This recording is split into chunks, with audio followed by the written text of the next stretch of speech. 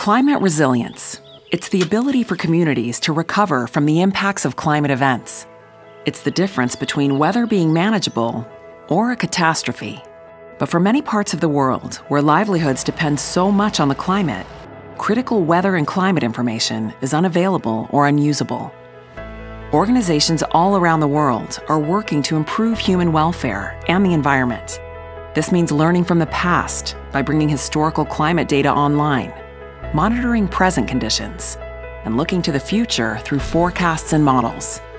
We're giving experts the access and training to use this information along with other climate information services, like early warning systems for disasters that save both lives and recovery costs rainfall predictions that help farmers better plan their crops and increase food security, historical data that allows companies to issue more reliable and affordable weather based crop insurance, surveillance systems that use satellite information to help malaria control managers anticipate and control epidemics.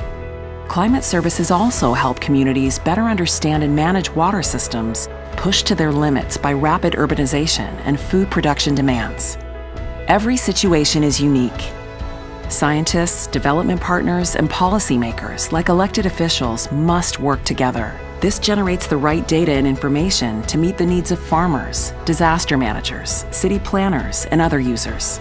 This iterative collaboration ultimately helps technical experts refine tools to deliver better climate services. When we build up capacity to use climate information and help implement decision support systems, decision makers can act knowing that the climate information they use is based on sound science.